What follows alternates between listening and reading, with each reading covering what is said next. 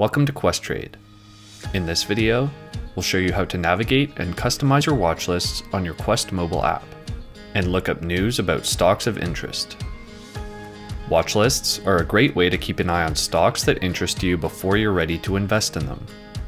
They're also a great way to look for trends by grouping stocks into different watch lists that represent categories or sectors of interest to you.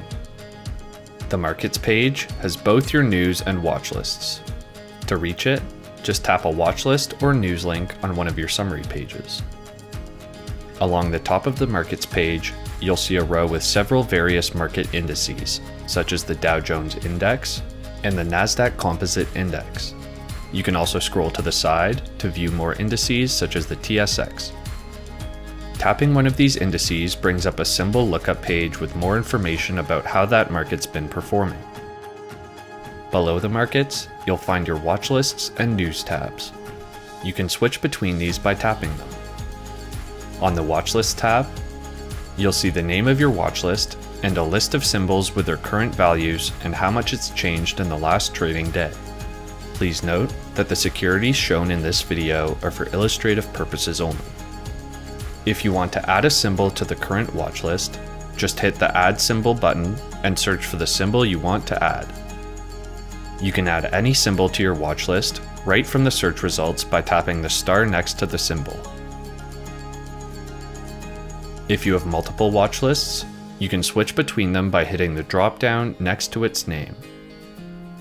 Remember that you can tap a symbol at any time to pull up its page and see its key information. To create a new watch list, tap the three dot menu button on the right and select Create a new watch list. Let's name this Sample Watch List and add the Apple symbol. Again, we're using this for example purposes only.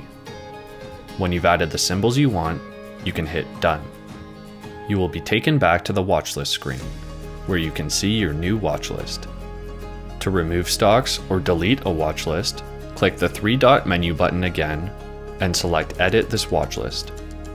Click the red X next to the stock and bring up the Delete option, or click the trash can in the top right to delete the watch list altogether.